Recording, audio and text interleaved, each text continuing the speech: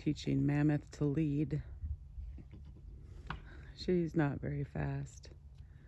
So if you notice that your donkey is stuck in the mud and won't go forward, you can uh, you can use oats to encourage forward movement and you can drive them forward. You do not want to have a tug of war match with them. They would always win and we don't want them to learn that they could get away from us. Be patient, it will happen. Your animal could be broke to to haul and drag them, broke to follow or broke to lead. Right now, she's more broke to to haul or drag. Once they're broke to lead, they're gonna follow you anywhere just because the halter's on them. Walk.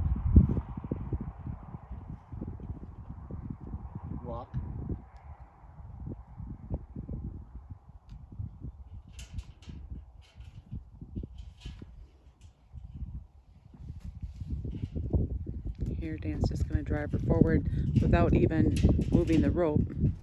She decided she would go forward, and then he released the pressure. Eventually, you will get there. Might take a while, but be patient when it all begins. Okay, it took me uh, several minutes to get the big mammoth donkey into here. Um, and what I want to point out is I just took my time. There's nothing to get worked up about. She doesn't know what I want. So I just enjoyed the journey, and it took us probably 10 minutes to cover 50 yards. But now she's in here, nobody's worked up, and it was a training process. Just working on her leading. She'll get there. She's like in kindergarten.